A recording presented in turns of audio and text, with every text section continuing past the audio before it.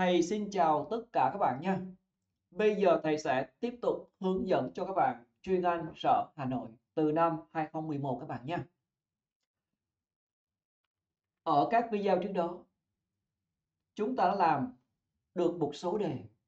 Ở video này, thầy và các bạn sẽ làm đề năm 15, 16 các bạn nha. Các đề thi Sở Hà Nội, đáng tiếc thầy không có file nghe. Thì chúng ta sẽ làm từ cái phần phát âm trở đi các bạn nha tới phần cuối cùng là viết câu không đổi nghĩa. Đây chính là phần trọng âm. Đây chính là từ tiết kiệm. Bạn nhấn vần 3 nha. À, bạn có từ personality nè vần 3 lần rồi bạn có từ preparatory nè vần 2 đây entertainment vần 3 bạn nào chọn thầy câu C đúng nè. Nha câu C đúng tiếp tục các bạn. Ở bạn có từ interrupt vần 3 interview vần 1 intervene 3 nha. Ở intimation nè. Đó. Bạn nhấn cho thầy vần 3 thì trong câu này bạn chọn cái thầy câu câu B là phỏng vấn các bạn nha. Đó, không phải can thiệp không phải bắt trước nha tiếp tục các bạn nè. Thân mật. Thầy qua câu số 3 nè. Các bạn có từ surprising bằng 2 rồi bạn có từ astonishing bằng 2 rồi amazing bằng 2 rồi bạn có từ interesting bằng bằng 1 rồi bạn nào chọn thầy câu D đúng? Xong. Thầy thấy bạn Việt Trần đó. Ở bạn Khánh Hoàng đó. Và rất nhiều bạn. Đã đúng nha. Tiếp tục đây chính là cây kéo nè. Cây kéo, đọc là Z nha. Rồi cái từ sở hữu nè. Z luôn. Rồi cái từ hòa tan nè. Z luôn. Rồi cái từ tung đồng xu nè. Âm S, chọn thầy câu D. Mấy phần này phải làm nhiều để nhớ các bạn. Ngày xưa thầy không có điều kiện học tiếng Anh các bạn đó, không có điều kiện giao tiếp với người nước ngoài. Phải tra điện để ghi nhớ các bạn nha. Tiếp tục nè. Ờ, à, không có internet như ngày xưa này nay đâu các bạn. Ngày xưa học là mệt lắm băng xét lum hết. Rồi chỗ này nè explain nè. Âm a các bạn nè. Complain các bạn nè. Âm a nè. Đây chính là cái từ complain âm a nè. Rồi câu này là âm ờ nhá đây chỉ là âm ờ thầy thầy viết vậy đó. Bởi vì thầy phải copy bên kia thôi khỏi copy. Rồi câu C đúng. Nha câu C đúng chào Lâm Tuyền nha. Rồi thầy chào Lâm Tuyền. Không thể nào quên được Lâm Tuyền nha. Đó một bạn. Rồi. À, thầy rất là ấn tượng. Đó thầy rất may mắn.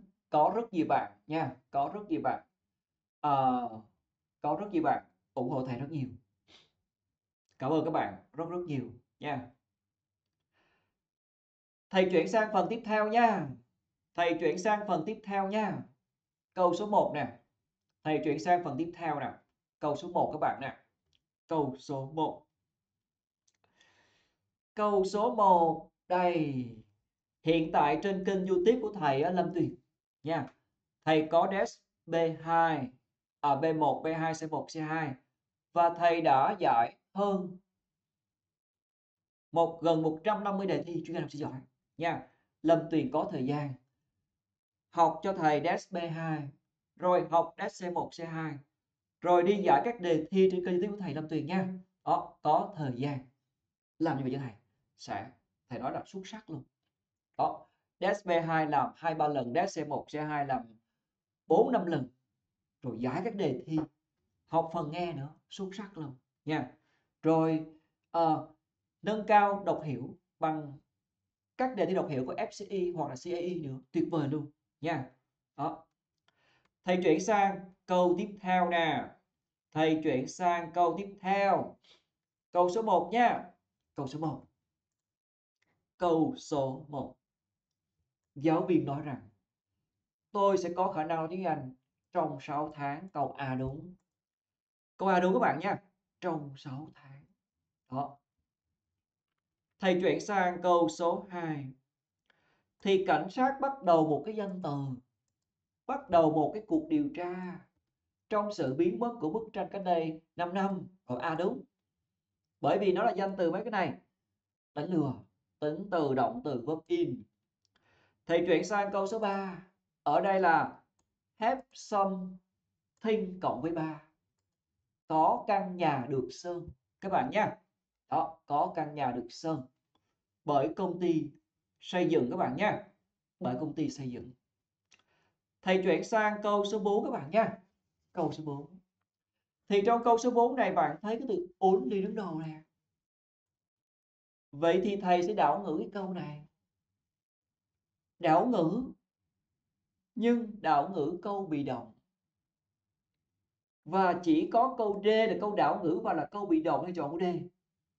Chỉ sau khi làm việc nhà mới được phép đi chơi. Nha gặp bạn.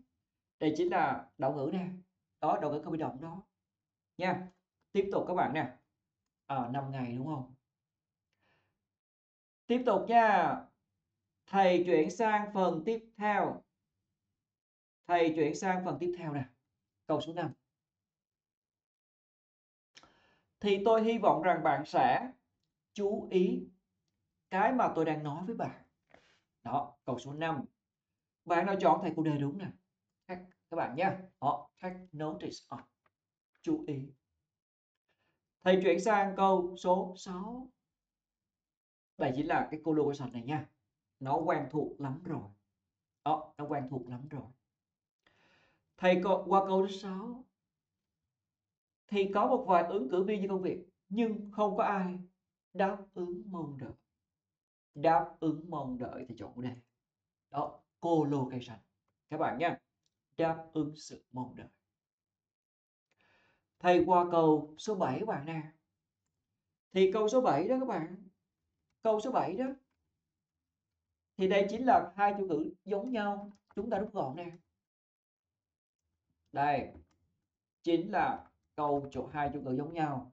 Các bạn nhé thầy rút gọn và những bạn nào chọn cho thầy? Câu A đúng. Rồi, xong. Các bạn nha. Câu rút gọn. Khi trái đất được thấy từ ngoài không gian, trái đất trông giống hành tinh xanh, câu bị động, hai từ giống nhau thì rút gọn. Còn cái b ba là câu bị động. Nếu là vấp in, là câu chủ động. Thầy chuyển sang câu số 8 câu số 8 là một cái idiom thì người Anh người Úc có cùng ngôn ngữ nhưng trong những phương tiện khác nhưng trong những phương diện khác chúng rất rất khác nhau. Thì chỗ này chữ nhưng nè nên chỗ này là rất rất khác nhau. Rồi bạn chọn này câu B đúng nè nha. Ở đây là rất rất khác nhau. Ở, ở ờ, câu A đó thầy ví dụ là mưa mèo và chó là mưa rất lớn. Tóc mà muối và tiêu là tóc vừa trắng vừa đen các bác. Here and there là trong những nơi khác nhau. Các bạn nhé, ở đây thì chọn câu B hoàn toàn khác nhau. Thầy chuyển sang câu số 9 các bạn nè. Thầy chuyển sang câu số 9 thậm chí nếu đáp đó đó mắc nhất trong cửa hàng nó không nhất thiết có nghĩa là nó tốt nhất. Thầy chọn câu D bởi vì nó hợp nghĩa. Thậm chí nếu nó mắc nhất, không nhất thiết là nó tốt nhất. Rồi cụ đề đúng hợp nghĩa các bạn nha. Không phải mắc nhất là tốt nhất. Thầy chuyển sang câu số 10 câu số 10 trong quá khứ, người này bị kiệt sức. Bởi vì trong quá khứ, thời điểm kiệt sức, trước đó đã chơi nhiều giờ hành động xảy ra trước hành động khác trong quá khứ và liên tục liên tục liên tục. Thầy dùng quá khứ hoàn thành tiếp diễn. Câu 10 chọn thầy qua đúng nha. Đó, bạn Yuki bạn Tuấn Anh đúng nè. Thầy chuyển sang phần tiếp theo.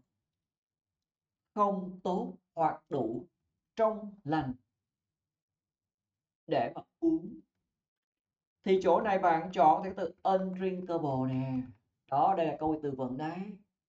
Mấy câu này kiểm tra từ vựng của các bạn nha.